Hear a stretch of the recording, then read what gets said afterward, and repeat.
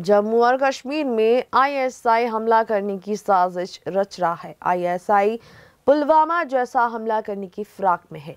पाकिस्तान की खुफिया agency ISI ने सभी आतंकी गुटों के साथ मिलकर नया ग्रुप बनाया है, जिसका नेतृत्व जैश ए मोहम्मद कर रहा है। ग्रुप का नाम गजनीवी फोर्स दिया गया है।